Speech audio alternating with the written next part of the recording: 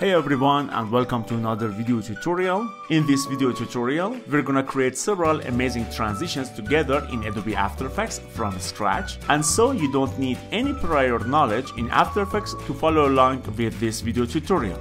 You will learn great tips, tricks and techniques in Adobe After Effects. I'm going to teach you everything you need to know from creating your first composition in Adobe After Effects to render your final composition for creating your first video transition. You will learn how to create shapes, how to add keyframes and convert them to easy ease to have smoother animations, how to use Graph Editor to tweak your keyframes for creating professional animations, how to export your transitions in video format with Alpha Channel and much more. So by the end of this video tutorial, you will be able to create and render any type of transitions using Adobe After Effects and finally you will be able to use them in video editing programs like Adobe Premiere Pro, Final Cut and so on. I hope you enjoy watching this video tutorial as much as I enjoyed creating it for you. So if you are ready to have fun and if you are eager to learn how to create amazing, professional and colorful video transitions, join me now and I'll see you in lesson 1. Thanks for watching and see you in the next video. Hey everyone, I hope you are doing well. In this video, we're gonna create a great triangle transition in Adobe After Effects. So without wasting time, let's get started. At first, we need to create a composition in After Effects. So from the menu, choose Composition, New Composition, or press Ctrl N. Let's give it a name, for example, Triangle. In Preset section, enter 1920 for the height and 1080 for the composition width. If you want to change these numbers manually, simply uncheck Lock Aspect Ratio and change them separately. For the pixel aspect ratio, I choose square pixels. Okay, in frame rate section, for motion graphics projects, I suggest to use 30 frames per second. And set the duration to 200 frames. And finally, for the background, let's choose a black color for now. Okay, as you can see, here we have triangle composition in project window. Okay, now I want to create a triangle shape, so let's use this polygon tool. Okay, now hold down shift key and click and drag to draw a polygon shape here. Okay, now in Polystar 1 section, in Polystar Path 1, let's change points to 3 to create a triangle shape. For outer radius, let's enter 370. And also let's change the stroke width to 150. To change the color, we can use this color option in stroke 1 section. Or from this top toolbar, click on this stroke color button. And let's enter this code, FFE400, a yellow color. Okay, let's move it to the center of the composition using this selection tool. Okay, great. Now select the layer, hit the return key or press the enter key, and let's change its name to, for example, triangle 1. And also, let's change the layer color to, for example, yellow. Okay, great. I want to rotate this triangle shape around the center point and as you can see the anchor point of this triangle shape is not at the center of the shape and I have to move it. So hold down Ctrl and Alt keys and press the home button to move the anchor point to the center of the object. And now let's move the shape to the center of the composition by pressing Ctrl and home buttons. Okay, now I want to rotate this shape, so let's load the rotation property by pressing the R key now if I rotate it, as you can see, it doesn't rotate correctly. Let me show you why do I say that. So let's create a circle shape using this ellipse tool. Change the stroke color to, for example, blue. Click and then hold the shift key and drag to create a perfect circle shape. Okay, now press the V key to switch to selection tool. Change the stroke value to, for example, 20. Okay, Let's rename the layer to circle. Let's change the size property. Change its value to, for example, this number. Let's move it to the center. And let's change the size to 1050. Okay, now as you can see, its anchor point is here, not at the center of the shape. So hold down the Ctrl and Alt keys and press the home button. And now press the Ctrl and Home buttons to move the circle shape to the center of the composition. Okay, move the triangle so that its vertices are in contact with the circumference of the circle. If you need, you can move it by arrow keys on your keyboard. Now the triangle is completely inside the circle shape. Now if I rotate this triangle shape, you will see that these vertices will not be in contact with the circumference of the circle. Yes, here you can see that this vertex of the triangle is outside of the circle shape now, and here, this vertex is not in contact with the circumference of the circle. So, what we can do to solve this problem? Let's reset the rotation to 0.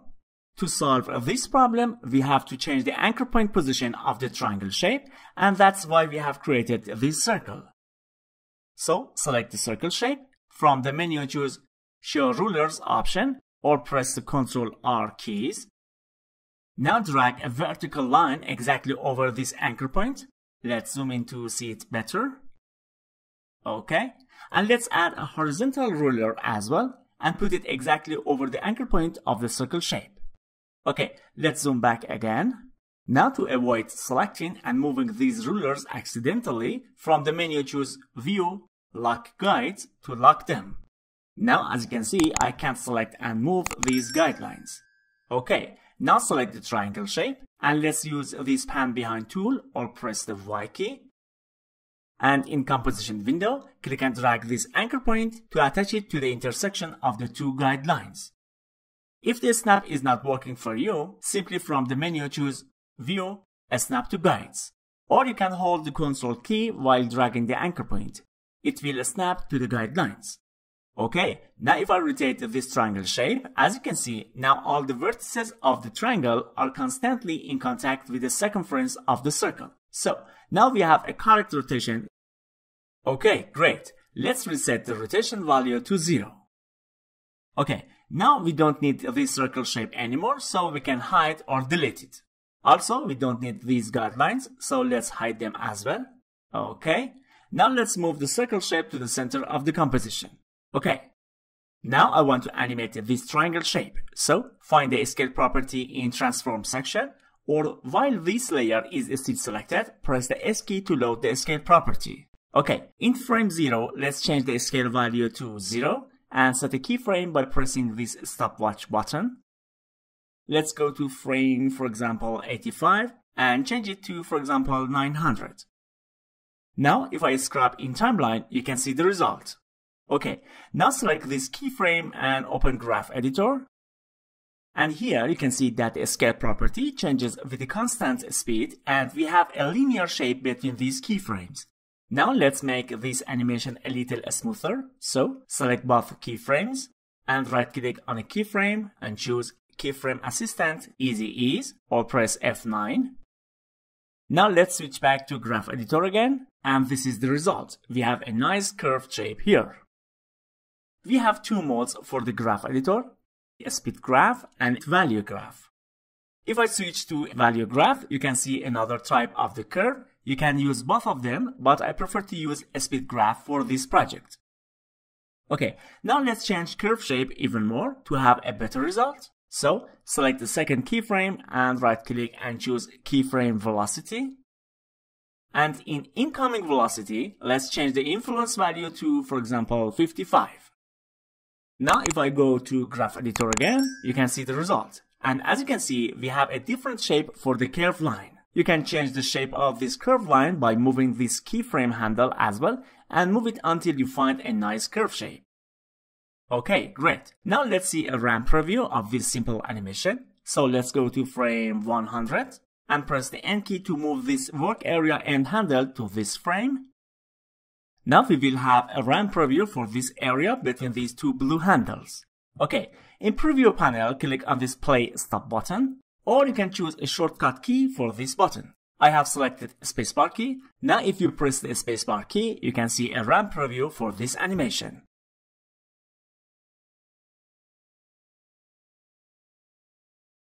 Okay, now I want to add a rotation to this object. So while this layer is still selected, hold down the shift key and press the R key to load the rotation property as well. Okay, let's go to frame 0. and change the rotation to, for example, negative 150 and set a keyframe here. Now let's go to frame 85 and change the rotation value to, for example, 35. Now if I scrub in timeline, you can see that the triangle rotates nicely. Okay, now let's smooth rotation keyframes. So select them and keyframe assistant easy ease. And for the second keyframe, select keyframe velocity and change incoming velocity to 55%. Let's see the rotation curve in Graph Editor. Nice curve we have here. Okay, great. Okay, now I want to add a background to this transition. So select this triangle layer. From the menu choose Edit, Duplicate or press Ctrl D. Rename it to BG. Drag it under the triangle layer. And let's change the layer color to, for example, blue. For this layer, we don't need a stroke, so change stroke options to none. And now for the fill color, let's enter this code. 2F0252. We will change this color later, and as you can see now, we have a nice background that fits inside this triangle. Okay, now I want to add more triangles to this scene, so duplicate this triangle two times by pressing Ctrl D. Let's change the color for these layers. For example, for the second layer, let's choose green. And for the third layer, I choose brown. Okay, now I want to add a null object to control the color of these triangles. So, from the menu, choose Layer, New, Null Object. Let's rename it to Control. And now let's add a color control to this null object. From the menu, choose Effect, Expression Control, Color Control. Now you can see this effect in Effect Controls panel. If you can see this panel, simply from the menu choose Effect, Effect Controls or press F3. Now let's change its name to Color 1 and duplicate it two times to be able to change the color for these three triangles. And now for each one, let's choose a color. For color 1, change the color code to FFE400. For color 2, enter B253FE. And for the third color, enter 7312BF. Okay, great. Let's reorder the layers. Layer 2 under layer 1 and layer 3 under layer 2. Okay, now I want to add offset between these layers. So select layer 2 and 3 and let's add 4 frames offset. Move timeline indicator to frame 4. Hold down the shift key and step these layers to timeline indicator. Now for the third layer, hold down the alt key and press the page down 4 times to add 4 frames offset. Okay, now select all these three layers and press the U key to load all keyframed properties. Now let's go to frame 85 and move the last keyframes of the second and third layers to this frame. Okay, now I want to connect a stroke color of these layers to our control layer. So select control layer and lock this button up here in effect controls panel to hold this panel open while I'm selecting other layers. Now for triangle 1, press the U key two times. Here we have a stroke color property. Hold down the Alt key and click on this stopwatch. Now click on this pick whip icon and drag it over the color 1 property. Okay, great. Follow the same process for the second layer. And connect stroke color to color 2 controller. And finally, let's connect third stroke color to color 3 controller. Okay, let's see what we have so far. Okay, great result. Okay, now I want to duplicate these triangles to have more shapes for our transition. So, select all triangle layers, press Ctrl D to duplicate them, and then drag them under triangle 3 layer. Okay, move the timeline indicator to the beginning frame of the triangle 3 layer, and move all these layers to this frame. And now hold down the Alt key and press the page down button 5 times to add 5 frames offset to this layer collection. Now again let's duplicate these new 3 layers, so press Ctrl D, drag them down, move the timeline indicator to the beginning of triangle 4 layer. Snap these selected layers to this frame and offset them for 5 frames. Okay, great. Now select all these triangle layers, press the U key to load all keyframed properties. Now press the tilde button to show this panel in full screen mode. Okay. For these first three layers, our last keyframes should be on frame 85, which is correct. For the second layer collection, let's move timeline indicator to frame, for example, 90, and select all these last keyframes and hold down the shift key to snap them to this frame. Now let's go to frame 95 and move these last keyframes to frame 95. Okay, awesome. Now I want to change some of these keyframes to have better result, so let's go to frame 85 over these keyframes from here, I want to decrease the scale value by 50 units for each layer. So for the first layer, for a scale value, we have 900%. For the second layer, let's change it to 850%. And for the third layer, I want to change it to 800%. Okay. For the second layer collection, we have keyframes on frame 90. For the first layer, let's enter 750%.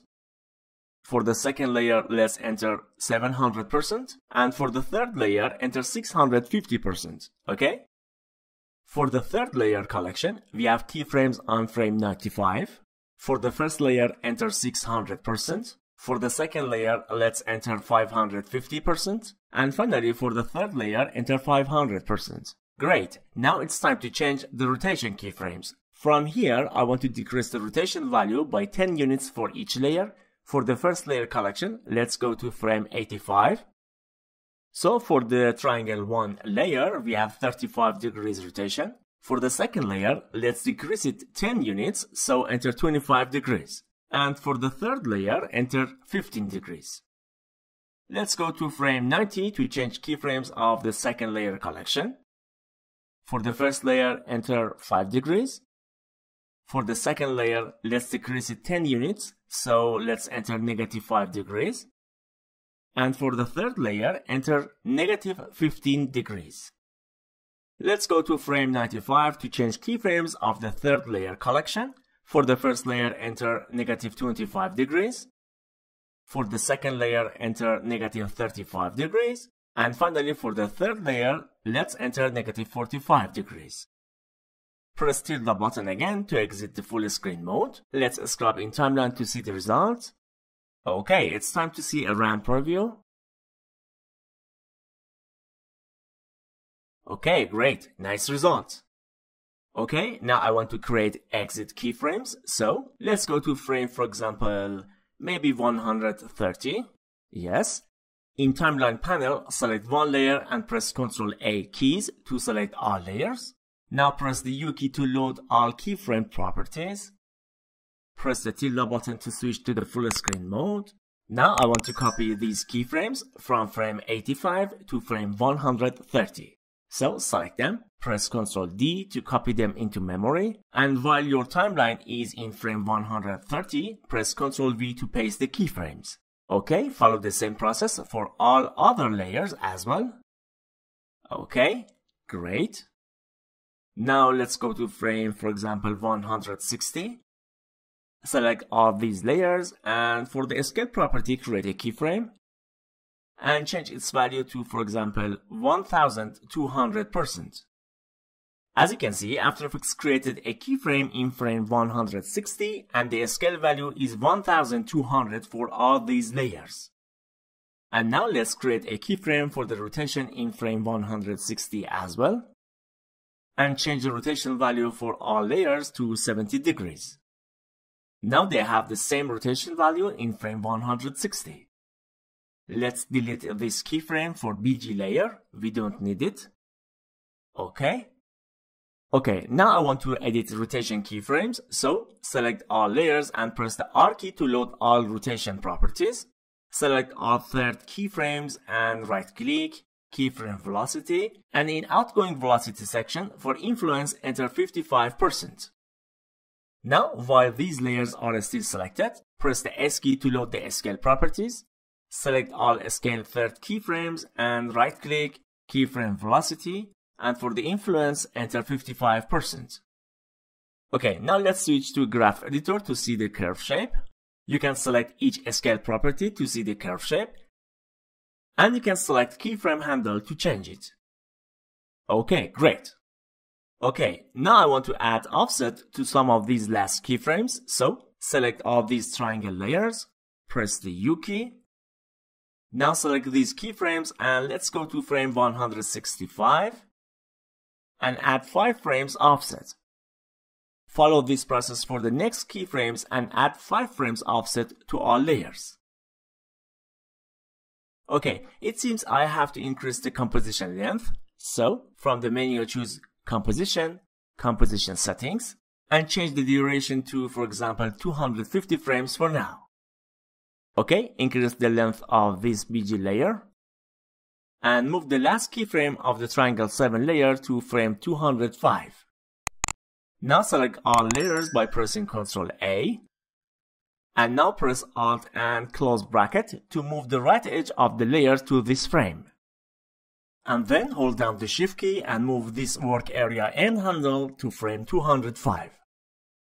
And maybe it's not bad idea to increase the length of this composition to frame 210. And finally press the Alt and close bracket keys again. Now, right click on this bar and choose Trim Comp to work area. Okay, now I want to add a layer to cut all these layers to reveal the second footage. So, duplicate the first layer, rename it to exit. And let's change the layer color to, for example, purple. Drag it on top of the BG layer. Okay, now let's see what we have so far.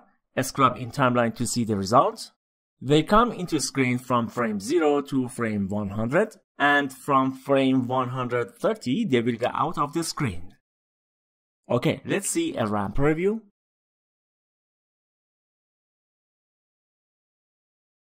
Okay, great. Now I want to modify this exit layer. So let's go to frame, for example, 145 and move the exit layer to this frame. And let's see the result. Okay, great. Click on this switches transfer controls button to show these two columns. And for the BG layer in track matte column, choose alpha inverted Matte. Okay, for this layer, we need a fill color as well. And let's change the stroke color to, for example, white. So by activating this switches transfer controls button, we have cut the BG layer by this exit layer. If I click on this toggle transparency grid button, you can see that we have cut the BG layer successfully. Okay, great. Let's scrub in timeline. Okay, I think we need to offset this exit layer a bit. Okay, now this exit layer cuts the scene after other triangles are out of the screen. So, exit layer should start from frame 152. Or maybe 150 is a good frame. Yes. Okay, great. Okay, now I want to add shadow to our triangle layers. So select the first triangle layer and let's add a shadow effect to this layer. From the menu choose Effect, Perspective, Drop Shadow. First of all, let's change the shadow color to 2D0150. A nice color. Our shadow is here, so let's change some features to make it clearer. Opacity is good, leave it at 50%. Let's change the distance to, for example, 10 and increase the softness to, for example, 200. Okay, now we have a nice shadow effect here. Now I want to add this shadow effect to all other layers, but I want to have a controller so that I don't have to change all these properties for all layers individually. So select control layer and press F3 or from the menu choose Effect, Effect Controls to enable this control panel. Now I want to add two controllers to be able to control shadow effects. So from the menu choose Effect, Expression Controls, Slider Control. And let's change its name to Shadow Opacity. And we need a color control as well, so let's add it. and rename it to Shadow Color. Leave its color to red for now. Select the first triangle layer. Make sure this lock button is enabled for control layer. Press the E key to load all effects applied to this layer. Now we can see the drop shadow effect here. Okay, let's copy this shadow color into memory. We need this code soon. Now hold down the Alt key and click on the stopwatch and connect this shadow color property to the shadow color controller. As you can see, our shadow color is red now. Okay, let's connect shadow opacity as well. I'm sure you know how to do that. Shadow opacity is 0, so we can't see the shadow effect. Let's increase it to 50 again. You can add another slider to this controller to be able to change the shadow softness property as well. So let me show you how to do it. Add a new slider control. Rename it to shadow softness. And connect this shadow softness effect to the shadow softness slider. And change its value to 200. Let's change the shadow color again. Just paste that code. Now we have a nice shadow color here. Okay, great. Now we have an effect called drop shadow here that all its important properties are connected to our control object. And now I can apply this shadow effect to my other triangle layers. So select this drop shadow effect. From the menu choose edit, copy. Now select all other triangle layers and from the menu choose edit, paste. Now as you can see, we have a nice shadow effect applied to all triangle layers. Okay. Now I want to change the color of this BG layer, so let's scrub a few frames forward. And for this layer, let's change the color to 7312BF. Okay, great. Okay, now I want to add a few markers to the timeline to have a visual representation to start, stop, and end of the transition. So let's show timeline in full screen mode by pressing the tilde button. Select all layers and press the U key. Okay, as you can see, our stop keyframes are here in frame 95. Okay, click here to deselect all layers. Let's go to frame 0 here you can hold down the Alt key and press the Start key on your numpad. Or from the menu choose Layer, Markers, Add Marker, or press the numpad Start key. Now double click on this marker and let's type in. Okay, let's go to frame 95 and press the Alt and numpad Start keys and type Stop. In frame 130, our Alt keyframes are here, so let's add another marker here press Alt and numpad start keys and type out. And finally, let's add another marker here in frame 205 and let's call it end. Okay, we can move work area and handle to this frame and trim the composition as well. Press tilde button to switch back to our previous workspace. Now if I scrub in timeline, you can see our objects will come into screen from frame 0 and they stop in frame 95 and they remain on the screen from frame 95 to frame 130 and from frame 130 they start to go out of the screen. And finally in frame 205 the transition ends. Okay, great. Let's see a RAM preview for this transition. Awesome. Let's see in full screen mode as well. So put your mouse icon on the composition window and press the tilde button. Okay, awesome. Now you can change some of these properties if you like. For example, you can change shadow softness. You can change the shadow color. Here we have a red color now for the shadow effect. Also, you can increase or decrease shadow opacity. Okay, let's hit Ctrl Z to undo. Okay, now I want to add an adjustment layer to be able to change the color theme for all layers at once. So let's add an adjustment layer. As you may know, adjustment layer is a transparent layer and when you apply an effect to it, it applies the effect to all the layers below it. Okay, let's rename it to effects. Now from the Effects and Presets panel, let's find Color Balance HLS and drag it over the effects layer. Okay, now if I change the hue property, as you can see, we have different color here for our layers. So you can change all layer colors simply. For example, let's change it to 45. If you like, you can play with this hue property to find the best color for your layers. And if you don't want to use it, simply turn off this effect here. Okay, well done. We have finished our transition. Okay guys, I hope you enjoyed watching this video tutorial so far. In the next video, we are going to learn how to render this awesome transition and how to export and import transitions in Adobe After Effects, so please don't miss it. Thanks and see you soon. Hey everyone, I hope you are doing well. In this video, we're going to render our triangle transition in Adobe After Effects. Then we will import this transition into After Effects. You can use your render transition in other video editing programs like Adobe Premiere Pro, Final Cut, and so on. So without wasting time, let's get started.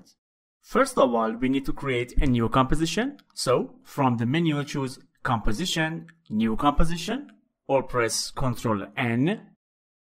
For the name, let's enter triangle render. Leave width and height at current values. Set pixel aspect ratio to square pixels. For frame rate, let's choose 30 frames per second. Leave resolution to half. Let's change duration to, for example, 400 frames. And for the background, I choose a black color and hit the OK button. Now drag triangle composition into triangle render composition. As you can see, After Effects adds this triangle composition here with all markers we have made in triangle composition. Okay, now let's move this composition to the right to have space for our first footage. So let's go to frame, for example, 100 and press left or open bracket key to move this layer to this frame. Now it's time to add some footage to our composition. So let's import two images. You can use videos as well. Now we can double click here in project window or right click and choose import file or hit Ctrl I. In import file window, I choose this image and maybe this one is okay. You can hold down Ctrl key to select multiple files. Okay.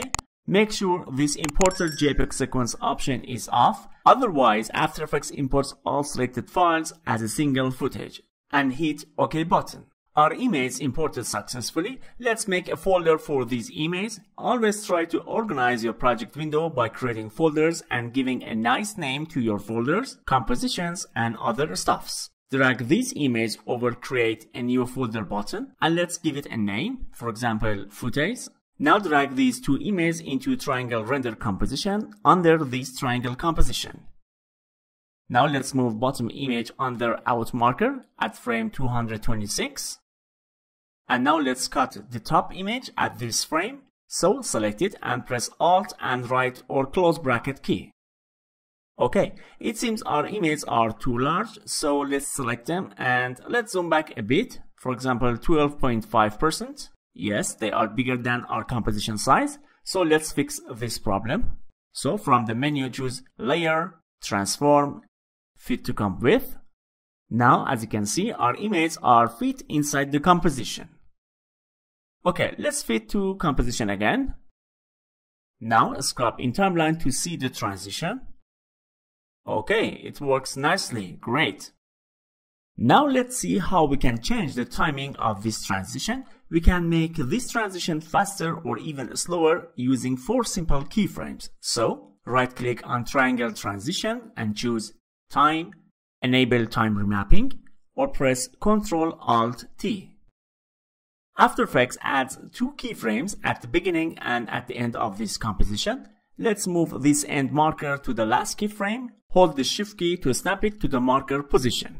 Okay, now we need two more keyframes to have full control over the transition timing. So, move timeline indicator to stop marker by holding the shift key. Click on this small diamond button to add a new keyframe here. Again, hold down the shift key to snap the timeline indicator to the out marker. And add a new keyframe at this frame as well. Okay, now by moving these four keyframes, we can change the speed of this transition. But before that, let's reduce the resolution to, for example, quarter.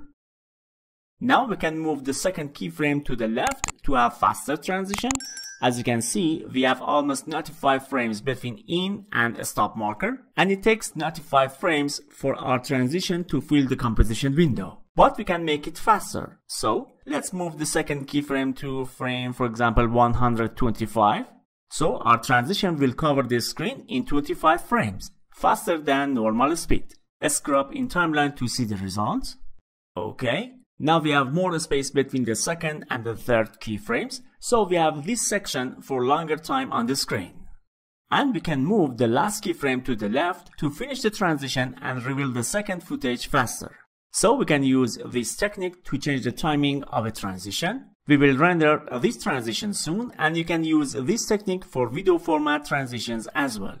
Okay, let's undo these changes. So move the keyframes to the original positions. Okay, now let's add a simple animation to our footage to have better result with this transition. So let's add keyframes to this footage. Select it and press the S key to load the scale property. And in frame 100, let's add a keyframe. Okay. And let's go to frame 195, which we have a stop marker here. And let's increase the scale value. For example, 100%. Now, if I scrub in timeline, you can see that the image gets bigger from frame 100 to 195. Okay, for the second image, load the scale property. And for the last marker, let's add a scale keyframe at current value. And let's go back to out marker in frame 226 and let's enter a smaller value. So let's enter 50%. A Scrub to see the result. Okay, as you can see, we have a small problem here. If I enable this toggle transparency grid button, you can see here on the left and right of the image, we have empty space. To solve this problem, let's add an effect called CC Repetile. So let's find it in Effects and Presets panel. And let's drag it over this bottom image layer. Now we have this effect here in Effect Controls panel. I want to expand the left and the right side of this image, so let's increase expand right value. As you can see here, we are adding more pixels to the right using this expand right option. Let's increase it to, for example, 600. And also let's expand the left side. So set it to 600. And we can expand even down and top sections. So let's change the radio to 600 as well. Now, as you can see, we have a sharp edge here at the position we have expand the image. To solve this problem, let's change tiling option. Let's set it to unfold in fact, unfold option reverses the image so we have a nice and smooth blending in pixels without any sharp edge. And it copies pixels from the right to the left. Now let's check it again. Oops, it seems we have to increase the expand option even more to solve this problem again. So let's change all these numbers to a bigger value, for example 1000. Let's check it again. Okay, it seems everything is great. Now it's time to smooth our keyframes, so select all scale keyframes and convert them to easy ease or press F9. Now let's smooth our animation keyframes even more, so select the first keyframe of the top image and select keyframe velocity option and let's change outgoing velocity influence to 70%. Okay, and for the bottom image, let's change the velocity for the second keyframe. So for the incoming velocity influence, let's enter 70%. Now we have a nice and smooth scale animation for our two images. Let's see curves in Graph Editor for these two scale properties. If you like, you can see them in speed graph mode as well. Yes, for the first image, we have a nice curve as well. Okay, great we have finished this transition successfully. Maybe you like to export this transition as a video to use in other video editing programs like Adobe Premiere Pro, Final Cut, and so on. So let me show you how to do it properly. First of all, in Project Panel, if I open this transition composition, You can see all layers here in timeline and the duration of this transition is 200 frames. Now let's create a new composition from this transition composition. So drag it over this create a new composition button and hit return key and rename it to, for example, triangle export. Now select it and from the menu choose composition. Here we have two options, add to Adobe Media Encoder queue and add to render queue. If you have Adobe Media Encoder installed on your system, I suggest you to use this option because you have a great program that will render your After Effects projects quickly with high quality. And also, you can use great video compressors like H.264 that can reduce your file size dramatically. If you don't have Adobe Media Encoder, so use the second option, which is add to render queue or press Ctrl M. Okay, here we can see render queue panel and as you can see, After Effects added your triangle export composition here to the render queue. In this panel, we have three main sections, render settings, output module, and output to. Click on the best settings, set the quality to best, set the resolution to full, which means you want to render your transition with the same size as your composition. Therefore, the size of your final video will be the same as your composition size, which is 1920 in 1080 pixels.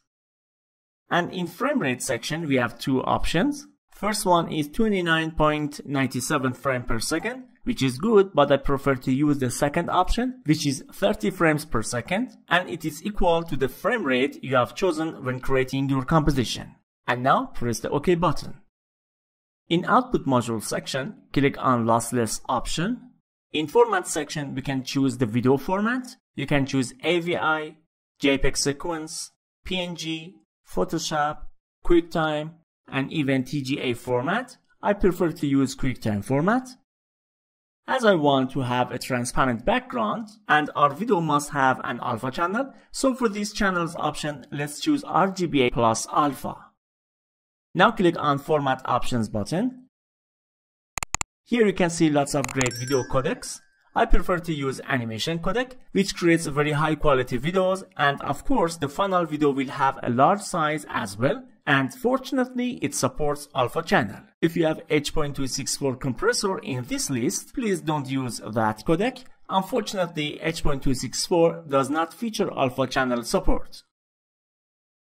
Okay, and finally, in Output To section, here you can select the destination folder, type a name, and the format is QuickTime Video, and finally press the Save button. Okay, before pressing the render button, open the triangle export composition. Let's make sure that our composition has a transparent background. So move the timeline indicator a few frames forward and click on this toggle transparency grid button. And yes, as you can see, we have this transparent checkboard, which means we have an alpha channel in this composition.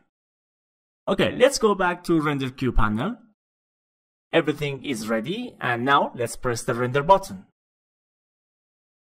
As a quick tip, you can slightly reduce your rendering time by turning on the caps lock button. When you press it, the rendering window will be frozen, which helps your videos render a little faster. Okay, great. The rendering process is over. Now let's close some of these panels. Okay, now let's test our video transition. So, in triangle render composition, let's delete this triangle layer. Okay, now let's import the transition video that we have rendered recently. Here it is, select and import it. It's in project window now. Drag it on top of these two layers. Let's go to frame, for example, 100. Press the left or open bracket key to move this layer to frame 100. Now if I scrub in timeline, as you can see, After Effects performance improved because After Effects only plays a video and there is no need to analyze and calculate anything. You can also use that time remapping technique here Use triangle composition as a reference to know where to place your markers and keyframes. So you can simply add keyframes and move them to change the timing of this video transition. To see a RAM preview, in frame 301, press the N key to move the work area and handle to this frame. And click on this play button to play a RAM preview. Okay, in fact our transition starts from frame 100 So let's go to frame 100 and press the B key to move the work area start handle to this frame. Now After Effects plays only from frame 100 to 301. Press the spacebar key. Okay, great, nice result.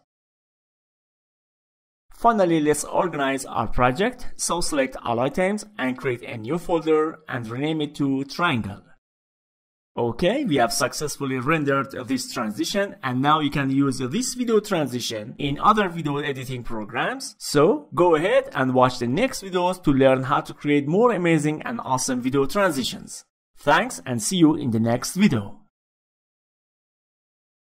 Hey everyone, I hope you are doing well. In this video, we are going to create a line transition in Adobe After Effects. So without wasting time, let's get started.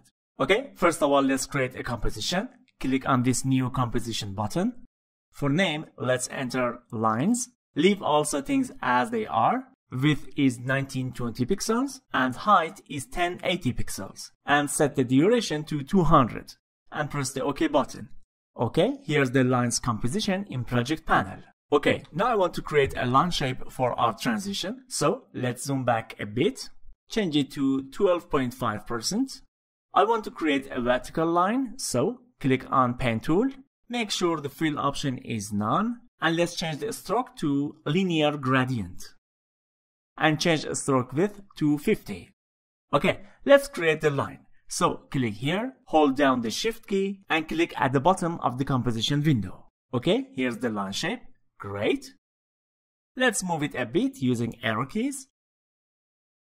If you want to change the height of the line, simply select the Convert Vertex tool and hold down the Ctrl key and click on this vertex and use the arrow keys on your keyboard to move it up and down.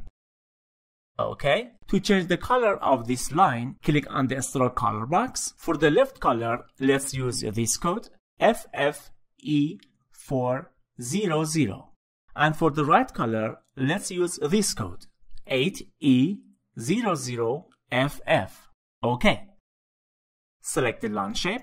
Press Ctrl, Alt and Home buttons to move the anchor point to the center of the line shape. And then press Ctrl and Home buttons to move the shape to the center of the composition. OK, now press the Return key or Enter key and rename the layer to Line 1. Okay, now I want to animate the stroke of this line shape. So, select the line shape, and let's find the stroke width property in gradient stroke section. Okay, here it is. Let's go to frame, for example, 15 and change the stroke width to 0. Set a keyframe here. Now let's go to frame, for example, 45. And this time, let's change the stroke width to, for example, 200. Okay, now if I scrub in timeline, as you can see, we're changing the stroke width now from frame 15 to 45. Let's go 10 frames forward, I mean frame 55, and click on this small diamond button to add a new keyframe at the current time frame with value 200. And now let's go to frame, for example, 85, and let's change it to 0 again. After Effects created a keyframe here automatically. Okay, let's see what we have so far. Okay, Nice result. Okay, select all keyframes and convert them to Easy Ease or press F9. Let's switch to Graph Editor panel to see the curve shapes.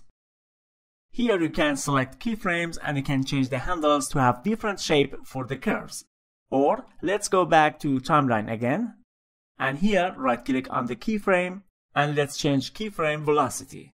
And in incoming velocity, change the influence value to 70%. And for the third keyframe, let's change the keyframe velocity. And in outgoing velocity, let's change the influence value to 70%. Now, if you switch to Graph Editor panel, you can see new shape for the curves. We have a nice and smooth transition in our keyframes. Okay, great. Okay, now I want to add an effect to the line shape, so click on this Add button to add an effect called Repeater. Let's change repeater options, but first of all, let's move timeline indicator to around frame, for example, 40 or 41. Now change copies option to 15. and change the offset value to negative 15. Now, as you can see, it filled half of the screen. So I think it's better to increase the copies to cover the entire screen. So let's change it to 30. Okay, great. Now let's rotate the line a little bit. So press the R key to load the rotation property and change it to, for example, negative 20. If your line is small, let's zoom back a bit. Yes, if this section of the composition is empty, it means the height of your line is a little small. So press the S key to load the scale property and uncheck this chain button to be able to scale the Y property separately and now scale it up to fill the entire composition. As you can see, if your line is too small, this section will be empty. So increase it until your composition fills with these shapes. I leave it at 100%. Okay, now activate selection tool. Here, let's find the start point in gradient stroke section. Okay. If we select start point and end point, as you can see, we have two circles here in composition window. Let's zoom in to see it clearly. Yes. Let's increase the quality as well. Here you can see these circles. Okay. Now just click and drag this circle to align it with the line to have a nice transition for the line color. We can move it down even more to change the gradient color distribution on the composition. Maybe somewhere like here, aligned with the line. Okay, and let's change the top circle position as well to have a nice and smooth color transition. It's better to align the circles with the line. Okay. Let's see what will happen if our circles are not aligned with the line. As you can see, we don't have a nice transition and instead we will have sharp edges for each copied line shape. So it's better to align these circles to the line shape. Okay, now I want to add an offset effect to our line shapes. Let me show you why I'm going to do that. So let's create a new composition and rename the composition to map. Leave all the settings as they are and hit OK button. Here it is the map composition. I want to add a gradient effect to this composition. So I need to add a solid layer here activate the timeline panel and from the menu choose layer, new, solid and press the comp size button and change the color to for example white. Okay. Okay, now I want to add a gradient ramp to this solid layer, so select it. And in effects and presets panel, let's find gradient ramp effect. Yes, here it is. Double click to apply it to the solid layer. Here in Effect Controls panel, we have two color box, a start color and end color. Click on this start of ramp position button. It is here now at the top of the composition. I want it to be here at the right bottom of the composition. So click here. And let's change the position of the end of ramp as well. Let's place it here at left top of the composition window. Okay, now I want to change this white color. I don't want it to be completely white. So let's change it to, for example, something like 90, 90, 90. Okay. Here we have a ramp scatter effect that it adds noise to the gradient. So let's zoom in a bit to see the effect clearly. Now if I increase it to, for example, 150, you can see a noise effect on the screen. Okay, we have finished this map composition. So let's go back to lines composition. And now from project window, drag the map composition on top of lines shape layer. We don't want to see the ramp in this composition, so let's hide it. Okay, great. Now I want to add an adjustment layer. As you may know, adjustment layers are transparent layers which will apply effects to the bottom layers. So from the menu choose Layer, New, Adjustment Layer. Now in Effects and Presets panel, let's find an effect called Time Displacement and apply to Adjustment Layer. Here in Effect Controls panel, in time displacement layer, select map option, which is this map composition here in timeline, and we have hidden it. Okay. Now you can see the result here in composition window. Let's change the max displacement time to, for example, 0.2 and change time resolution to 240. Okay, and let's turn off this stretch map to fit option. Okay, great. Now I want to add a new viewer, so activate composition window and from the menu choose view new viewer. Okay, let's make these viewers a little bigger. For this view, I open map composition, unlock the chain button for this view, and again, lock this view to map composition. Now this view is connected to this map composition. Let's open lines composition and lock this view to lines composition. Okay, now open the map composition, rename the solid layer to map gradient. Okay, now if I change the position of this start of ramp color handle, please watch the effect in the left window.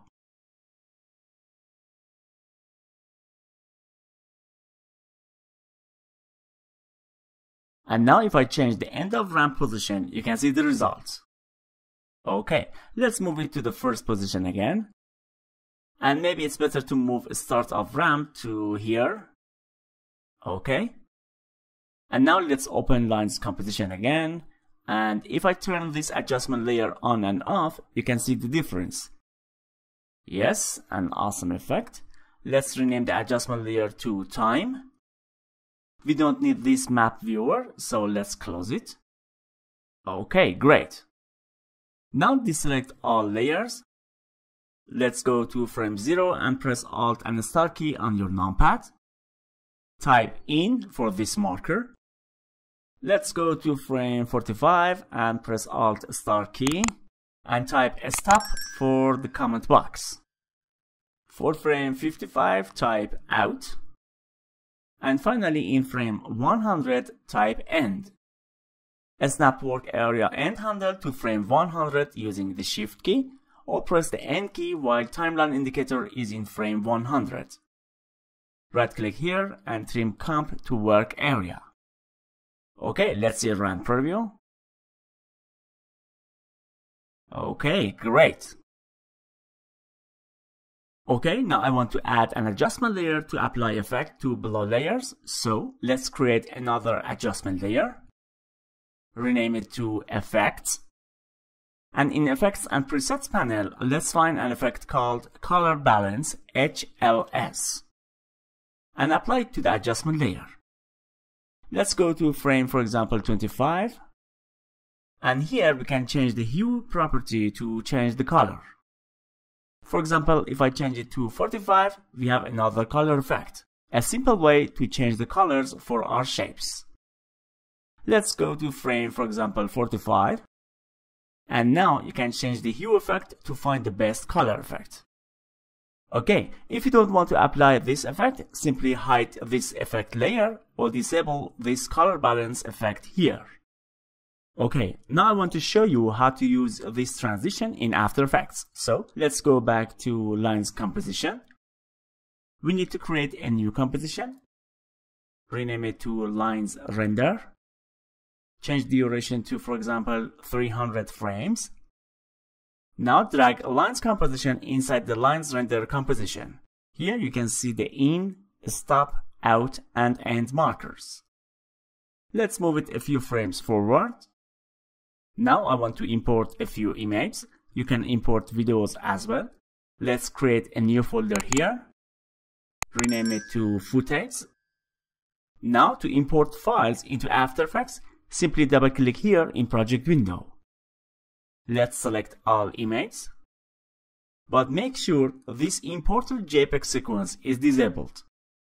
If this option is enabled, then all of your files will be imported as one footage. So disable this option and import the files. Okay, while all these images are still selected, simply drag them inside footage folder. By doing this, we have a nice structure for our After Effects projects. Don't forget to organize your projects with folders and try to give them a proper name to find them easily instead of using comp1, comp2 and so on.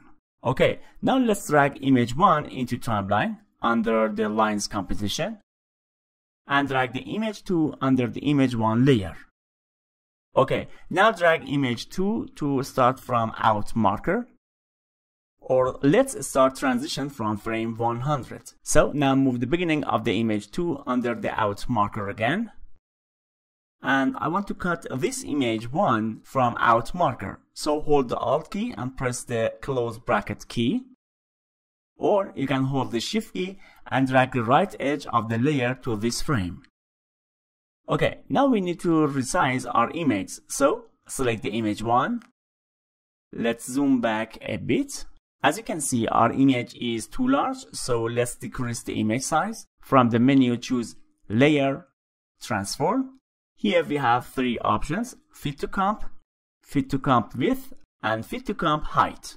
I choose Fit to Comp Width option. Now, as you can see, our image fits inside the composition area. And let's follow the same process for the second image. If we select Fit to Comp option, After Effects will scale the image in X and Y direction to fit it inside the composition area. This action maybe distorts your image, so I suggest you to use Fit to Comp Width or Height. But I selected Fit to Comp option to show you the result and it was only for education purpose. Now let's move work area start handle to this in marker and move timeline indicator to end marker and move the work area end handle to this frame by pressing the N key. Okay, now let's see RAM preview for this section. Okay, great. Okay, now I want to show you how to change the length of this transition with a few keyframes. Select this transition composition. Right click and choose time enable time remapping or press Ctrl Alt T. As you can see, After Effects added two keyframes to this composition at the beginning and end. Now hold the Shift key and step timeline indicator to stop marker. And click on this small diamond to add a keyframe here. Hold the Shift key and step to out marker. And again, create a new keyframe here. Now we have four keyframes here. Now we can change the length of the transition by moving these four keyframes. Let me show you how to do it properly.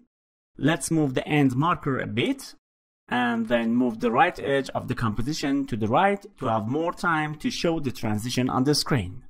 Now, if we increase the space between these two first keyframes, we make this transition plays slower. For example, let's move these keyframes to the right to have more frames between the first and the second keyframe.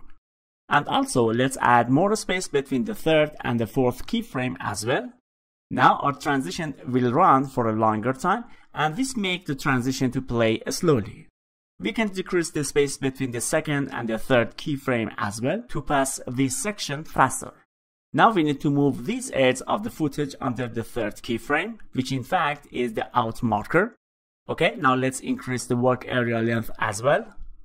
Okay, now let's play a RAM preview. Okay, great. Now we have a slower transition. Awesome. Okay, let's undo a few steps to move the keyframes to their original positions. Great. Now let's organize the project structure. So select all items in project window and drag them over the new folder button and rename the folder to lines. Okay, great. We have finished this transition successfully. I hope you enjoyed watching this video tutorial so far. To learn how to create more engaging transitions, don't miss out other videos. Thanks and see you soon. Hey everyone, I hope you are doing well. In this video, we're going to create amazing curtain transition in Adobe After Effects. So without wasting time, let's get started. First of all, let's create a composition. For the name, type curtain and leave other settings as they are. Width is 1920 pixels, height is 1080 pixels. Other settings are okay, and let's change the duration to, for example, 200 frames for now. The background color is black, and hit OK. Our curtain composition is here in project panel, okay. We need to have a solid layer here in timeline, so activate this panel and let's add a solid layer here. For name, enter BG, I mean background. And let's change the color here, for example, 2200 3D.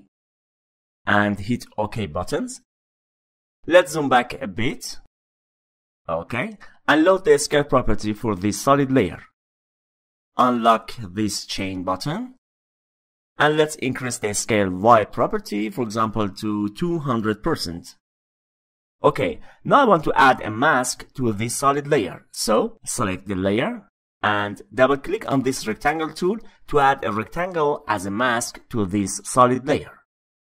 Now you can see this mask created for this layer. Click on the composition window to deselect the mask.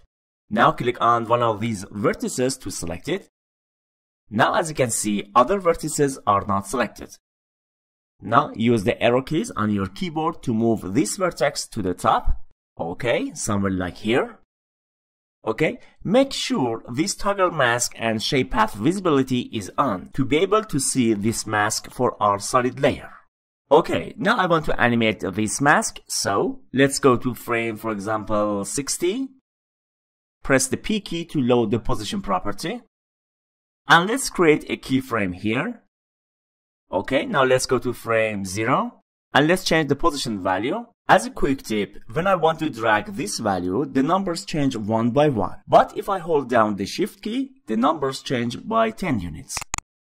And if I hold down the control key, the numbers change in decimal, which is great to increase accuracy. So let's hold down the shift key and move it up until it's outside of the black composition area. Scrub in timeline to see the result. Okay, it enters the screen from frame 0 and stops here in frame 60. Okay, now let's go to frame 100 and create a keyframe here. And now let's go a few frames forward, for example to frame 130. And hold down the shift key and lower this mask until it's outside of the black composition area. Okay, great.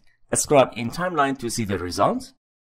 Okay, from frame 0 to 60 it enters the screen. Between frames 60 to 100 it is constant on the screen. And it leaves the screen from frame 100 to 130. Okay, great. Now let's make these keyframes smoother. So select all keyframes, right click and choose keyframe assistant, easy ease or press F9. Okay, now I want to change velocity for the second and third keyframes. So select the second keyframe, right click and choose keyframe velocity.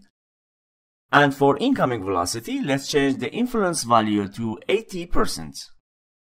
And for the third keyframe, for outgoing velocity, let's change the influence value to 80% as well. Let's check the curve shape in Graph Editor. Okay, now we have a nice and a smooth curve shape here. Let's change the layer color to, for example, blue. Okay, now I want to create other curtain layers, so duplicate a new layer from BG and rename it to layer 1. Let's add a fill effect to this layer. So choose effect, generate, fill. For the color, let's change it to this code, 2E014E. Let's go to frame 60 and let's change this layer. Press the M key to load the mask property. Select the mask node. Click on this section of the composition window to activate it. Now by using selection tool, click on this vertex to select it. Let's move these two bottom vertices to make a different shape for this layer. Now, this time duplicate a new layer from layer 1. Now we have layer 2. For this layer 2, let's modify the mask to have a different shape with an opposite angle to the previous layer. And for the color, let's change it to, for example, 3B0764.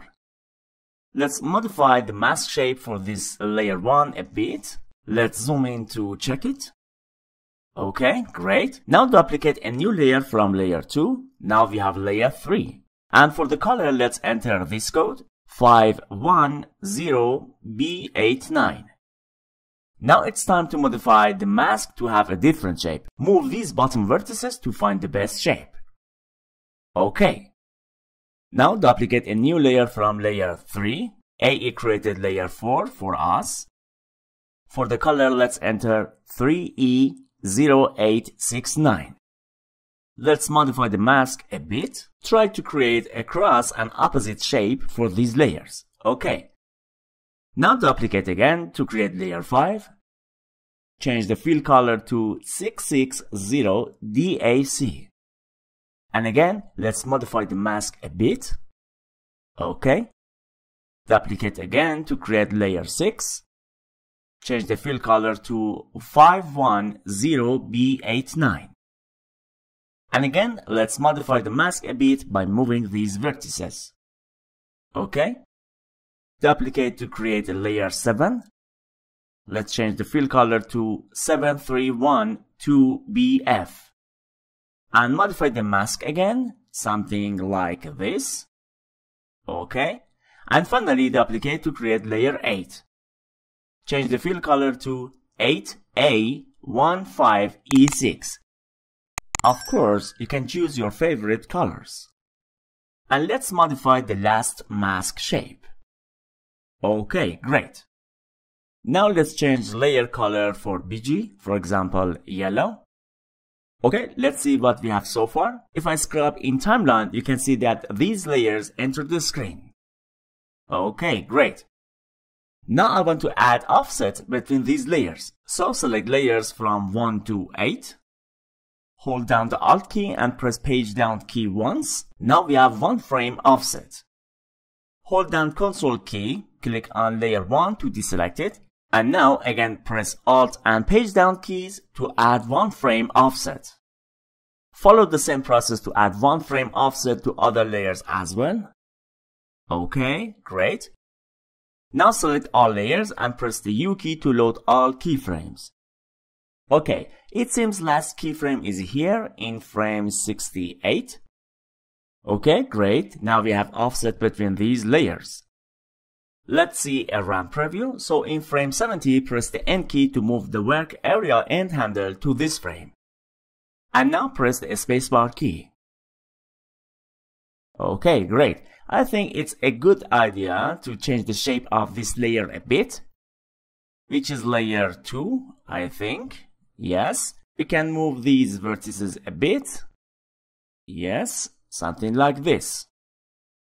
Okay, now I want to add an adjustment layer to cut these curtain layers. So, from the menu choose Layer, New, Adjustment Layer. Let's rename it to Cut. And let's change the scale Y to 200. Now in Effects and Presets panel, I'm going to find an effect called Set Matte. I mean this effect. Now let's copy mask from layer 7 into memory. So select layer 7, press the M key to load the mask property. From the menu choose Edit, Copy.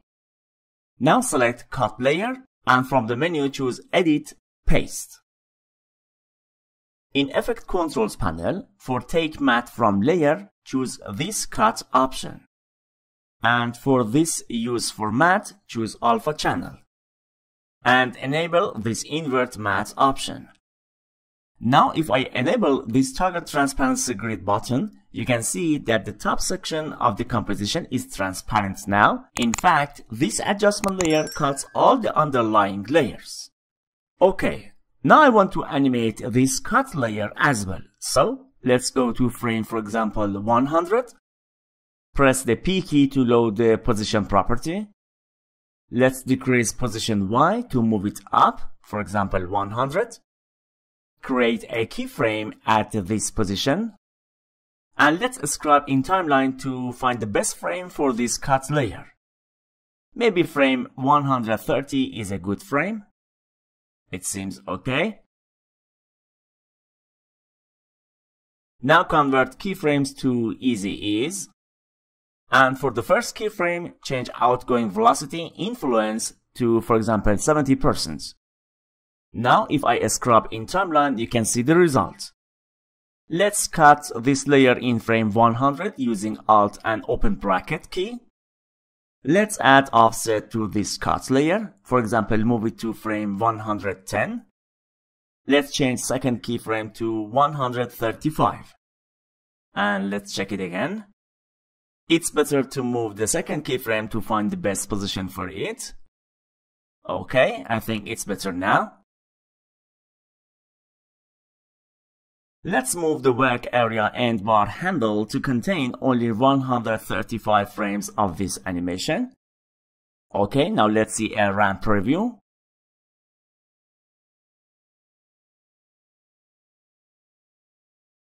Okay, great. To have more professional look for this transition, we can add shadow to layers. So, go to frame around 70 to see all curtain layers.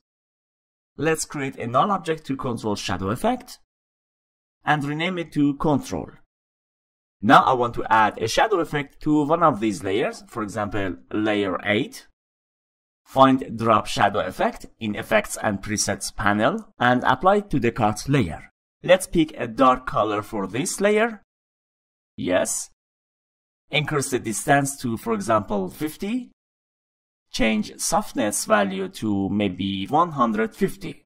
Now I want to add some controllers to this null object to control shadow effects. Change this slider to shadow opacity. Let's add a color control as well. Rename it to shadow color. Let's pick shadow color from this dark layer. And now lock this effect controls panel to hold it open.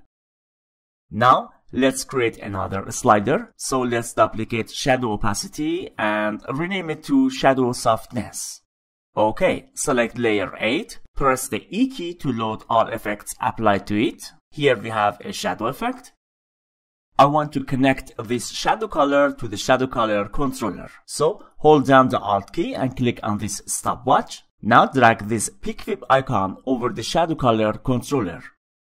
Now let's connect this opacity as well. So alt click and drag the pick whip icon over the shadow opacity slider.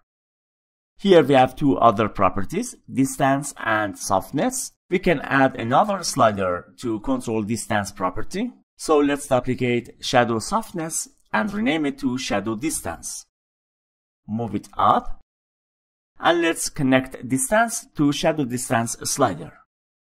And finally, connect softness to shadow softness. Okay, let's change opacity to 50, increase the distance to 50, and increase the softness to 150.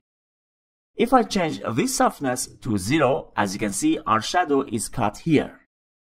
To solve this problem, we need to change the scale value of these layers. So select all layers Press the S key to load the scale property and change the scale X for all layers, for example, to 105.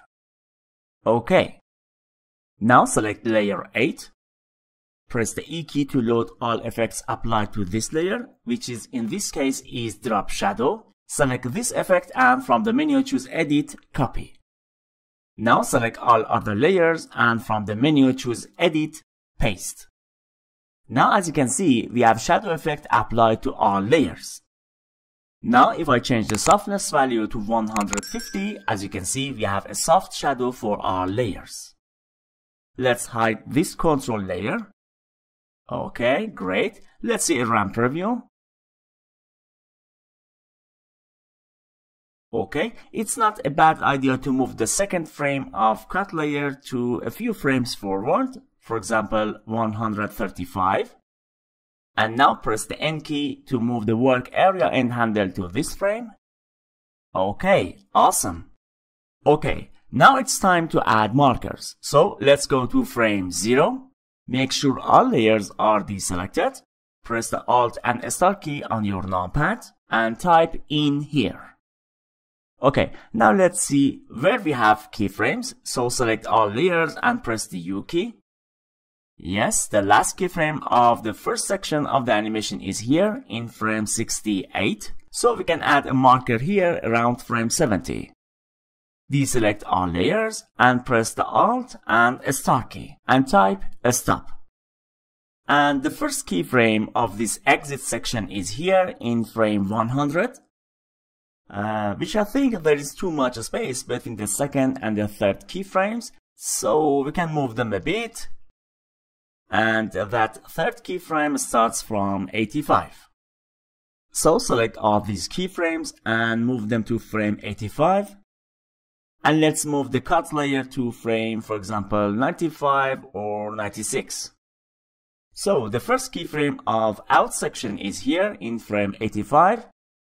Press Alt and Star key and type out. And the last keyframe is here in frame 123. Let's add a marker in frame 125 and type end. Now press the end key and right click and trim the composition. Okay, great. Let's scrub in timeline. And yes, this is our transition. Okay, now I want to add an adjustment layer to apply a color balance effect. Rename it to effects. And let's find color balance HLS effect in effects and presets panel. Double click on it to add it to the effects layer. Let's change hue parameter to find a nice color. For example, 45. Nice color effect. Okay. But if you don't want to use this color effect, you can simply disable it. Okay, great. Now I want to use this transition between two footages. So let's create a new composition. Rename it to Curtain Render. Leave all settings as they are. And let's change the duration to, for example, 300 frames. Okay. Now drag the curtain composition inside it now, as you can see, we have all markers here. Let's move it a few frames forward. And now it's time to add images. But before that, let's create a folder to organize the project window. Rename the folder to footage. Double click on project window. Select two images, for example, this one. And this one is okay. Make sure this imported JPEG sequence is off. Press the import button and drag these two files inside the footage folder. Now drag these two images inside the timeline. Move the top image to the right. I want this image starts after the out marker. And for the bottom image, select it and press the Alt and close bracket key to cut the image at this frame. Let's check this transition. Scrub in timeline to see the result. Okay, great we can change the image size. So for the first image, let's select fit to comp. And also for the second image, let's select fit to comp width. Okay. Now let's see a RAM preview for frame 0 to 200. So press the N key here in frame 200.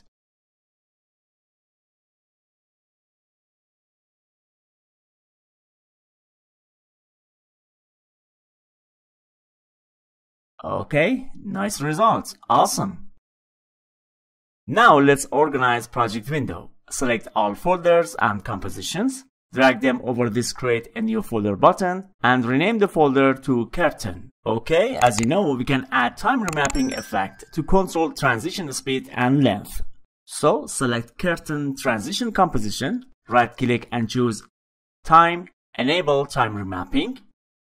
Okay, add a keyframe at stop marker position and also add another keyframe here at out marker position. And by moving these keyframes, as I told you before in previous videos, you can change the speed and length of your transition. If you didn't watch previous videos, I highly recommend you to watch them now. Okay, as you can see, our transition enters the screen sooner, stays on the screen longer, and finally leaves the screen faster than normal transition speed. And if you remember, I told you before how to create and use this time remapping effect. Okay, great.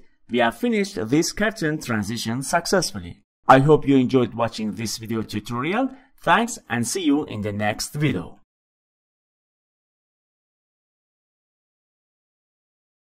Hey everyone, I hope you are doing well. In this video, we're gonna create an amazing circle transition in Adobe After Effects. So without wasting time, let's get started. Click on this new composition button. For name, enter circles. Width is 1920 pixels. Height is 1080 pixels. Pixel aspect ratio is square pixels. Frame rate is 30 frames per second. Resolution is quarter. Duration is 300 frames. And the background color is black. Okay, now here we have the circle composition in project window. Okay, now I want to create some circle shapes. So activate this timeline panel and let's add a solid layer. From the menu choose layer, new, solid. Rename it to BG circle. Now in effects and presets panel, let's find circle effect. Okay, and drag it over the BG circle layer. Okay, for the color property, let's change it to 2D0150. And for the edge, select thickness. Let's increase the thickness value to, for example, 1200. Okay. Now I want to animate this circle shape. So let's go to frame 0. Now I need to increase the radius value. Let's increase it. Hold down the shift key and finally let's enter for example 2000. Set a keyframe for radius in frame 0. Now let's go to frame for example 55 and decrease the radius value using the shift key and let's set it to for example 600. Okay, let's see the result. Okay, select both keyframes and convert them to easy ease to make a smooth animation. And if we switch to graph editor, as you can see, we have a nice curve shape for current keyframe velocity. Here we have two methods for graph editor, edit speed graph and edit value graph. If I switch to value graph, we have something like this. Now we can drag handle of the second keyframe and if I switch back to speed graph, you can see the result here as well. Also, we can use numbers instead of changing curves. So switch back to timeline mode, right click on the second keyframe and choose keyframe velocity. And here in incoming velocity, for influence, let's enter 70%. Now we have a nice and a smooth curve transition in graph editor window. Okay, now I want to add another circle shape. So click on this tool and choose ellipse tool now click on the composition window, hold down the shift key, and then hold down the control key to create a perfect circle shape based on the point you have clicked. Okay, great. Make sure this fill option is none. And for the stroke, we can choose solid type. For a stroke color, let's type this color code E36BFF. And for the stroke width, let's enter 100. And let's change the size of this circle shape. So in ellipse 1, ellipse path 1, here we can change the size. For example, let's enter 1080. Let's rename this shape layer to circle 1. When I select it, as you can see, its anchor point is not at the center of the circle shape. So while it's still selected, press the Ctrl, Alt and Home buttons to move the anchor point to the center of the shape. And now press Ctrl and Home buttons to move the shape to the center of the composition. Okay, let's fit the composition and switch to selection tool. Okay, now I want to animate this second circle shape, so select the layer and press the S key to load the scale property. Let's go to frame, for example, 5 and change the scale value to 300 to be outside of the composition window. Create a keyframe here now let's go to frame, for example, 80 and decrease the scale value to 70. Okay, great. Now I want to animate the stroke of this circle. So open content, ellipse 1, stroke 1. Now I want to animate this stroke width property. Let's go to frame 20 and add a keyframe here and change its value to 200. Again, let's go to frame 80 and change a stroke width value to 100. Let's see what we have so far. Okay, great. Let's select the layer and press the U key to load all keyframes. Select all keyframes and convert them to easy ease. Now I want to create out keyframes, so let's go to frame for example 100. Select both second keyframes and from the menu choose edit, copy and in frame 100, paste those keyframes. Let's check Graph Editor for a second. Okay, we have a nice curve shape for our keyframes. Switch back to timeline mode again. Now for the second scale keyframe, let's change the velocity. And for influence incoming velocity, enter 70%. And also for a stroke width, let's change keyframe velocity and for the incoming velocity set influence to 70%. Let's check the graph editor for stroke width. And also let's see a scale curve in graph editor. Okay, great. Now I want to add another level of animation to this circle. So click on this small add button and select trim path. Okay, now let's animate this trim path and let's go to frame, for example, 110 and create a keyframe here for a start. And let's go to frame 140 and increase the start value to 100.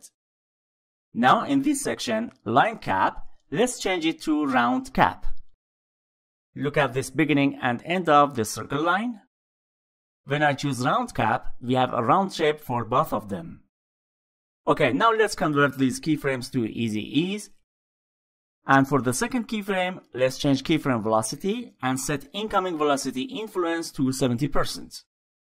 And this is the curve shape of this animation. Okay, great. Let's scrub in timeline to see the result. Okay, awesome.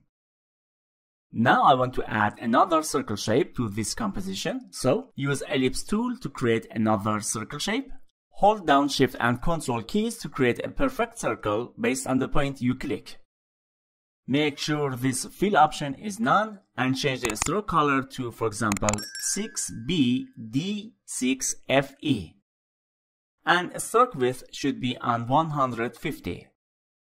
Let's rename the layer to circle 2 and let's change the size of this circle. But before that, let's press Ctrl, Alt and Home buttons to move the anchor point to the center of the circle shape. And then press Ctrl and Home buttons to move the circle to the center of the composition. And now let's increase the size to for example 1500. Now I want to animate this circle, so press the S key to load the scale property. Let's go to frame for example 20 change the scale value to 300% and set a keyframe here. Now go to frame 80 and now let's change the scale value to 100. We will convert these keyframes to easy ease later, so don't worry. Okay, now I want to animate the out section of this transition. So select the BG layer and let's go to frame 100 I want to create a new keyframe here with this current value, 600. So click on this small diamond button and let's increase the radius value to, for example, 2000. Okay, for the third keyframe, let's change the outgoing velocity influence to 70%.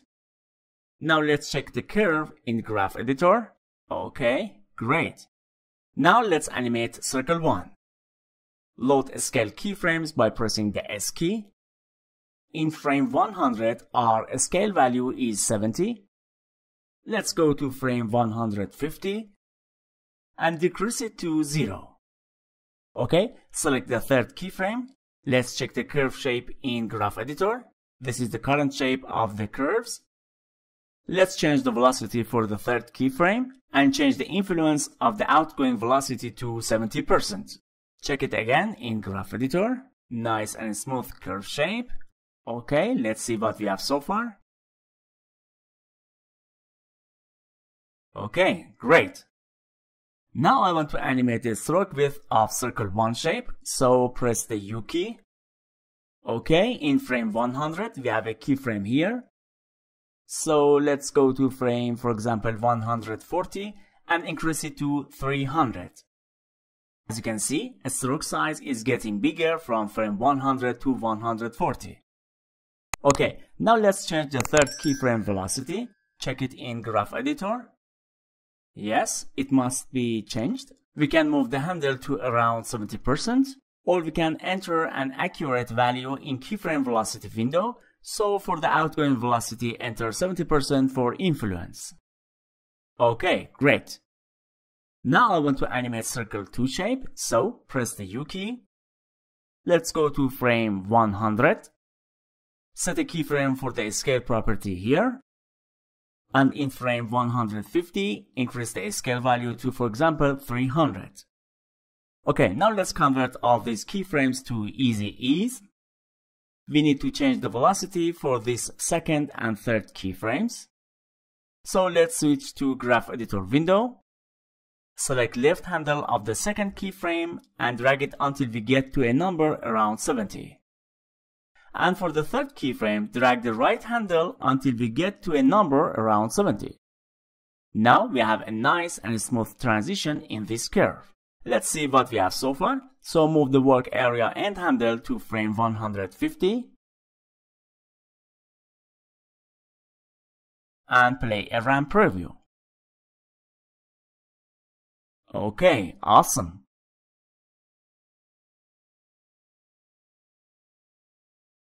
Now I want to offset some of these keyframes, so select all layers and press the U key.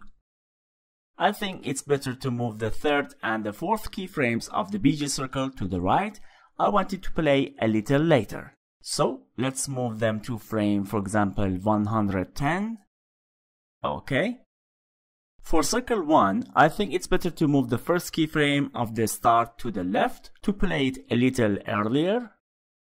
So move it to frame 100. And also move the second start keyframe to 125 to finish it a little earlier. Yes. And let's move the last keyframe of the BG circle to frame 150. Let's check it. Okay. Now I want to change the scale keyframes, so let's move the last keyframe to frame 140 to make it thinner faster. Okay, great. And also let's move the stroke width last keyframe to frame, for example, 125. In fact, I want it to get bigger faster. Okay, great. Maybe it's not a bad idea to animate offset property for this circle one. So let's find offset. Yes, here it is. In frame 100, set a keyframe for offset property. And in frame around 125 or 126, we can change it to 90 degrees. Or maybe even more. Maybe 180 is a better value. Yes, great. Now convert both keyframes to easy ease. And for the first keyframe, change the influence for outgoing velocity to 70%. Okay, now let's see a RAM preview.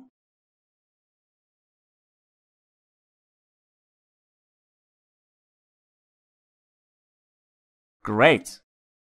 Okay, now I want to add markers. So deselect all layers. Let's go to frame 0 Press Alt and the Star keys on your numpad and type in here. Let's find the second keyframes. Yes, they are on frame 80. So deselect all layers and add a stop marker here. And exit frame is 100, so Alt and Star key and type out. And the last keyframe is 150, so let's add end marker here. And finally, trim this comp now. Okay, great. Now I want to add an adjustment layer. So rename it to Effects. And let's apply a color balance HLS effect to this layer. Now let's go to a few frames forward. And by changing the hue parameter, we can change the color immediately. Okay, great. Let's disable this effect for now.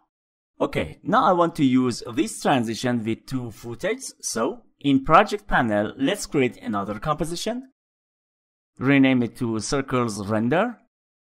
Leave all the settings as they are. Okay, now drag circles composition inside circles render composition. Let's move it a few frames forward. You can see this composition with all markers. Okay, now we can add time remapping effect. So right click and choose time Enable time remapping effect. And let's add two keyframes at stop and out markers. Now you can change the speed of this transition by moving these keyframes. As you can see, this transition appears between frame 75 to 155, but we can move the second keyframe to the left to make it to play faster. Now, as you can see, it's too fast. And you can do this for the exit section as well. Okay, great. Let's undo these changes. Double click on project window. Let's select two images, for example, this one and maybe this one. Yes. Drag them over the make a new folder button. Rename it to footage. Now drag these two images into timeline. Move top image under out marker and cut the bottom layer in out marker by pressing the alt and close bracket keys. This bottom image is too big. Yes. Use Fit to Comp Width option to fit it inside the composition window. And also for the top one, let's fit it as well.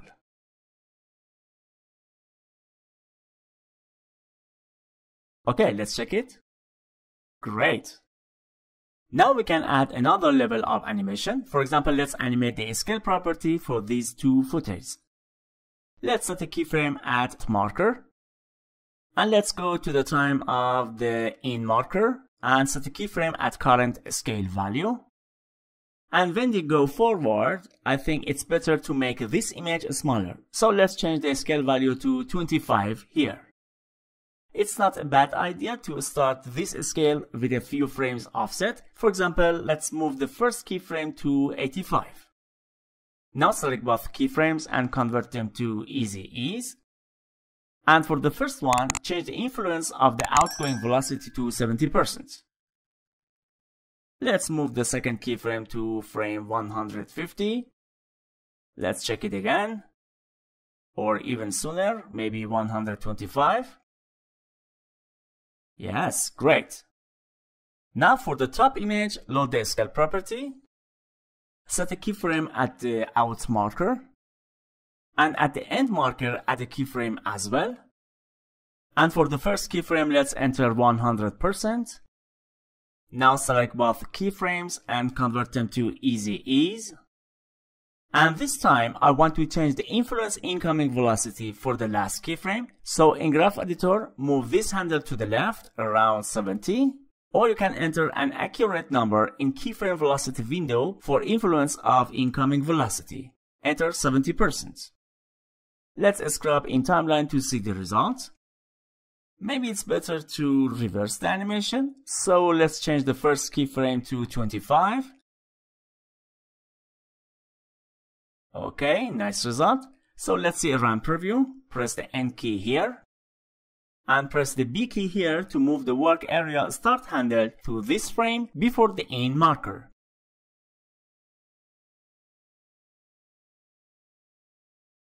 Okay, great. We have successfully finished this transition as well. Now let's organize the project window. Select all items and drag them over the Make a New Folder button and rename it to Circles. Okay, I hope you enjoyed watching this video tutorial. If you like to learn how to create more professional transitions, I highly recommend you to visit our portfolio here on Skillshare and I'm sure you will learn super professional techniques to create complex transitions. Okay, thank you so much and see you soon.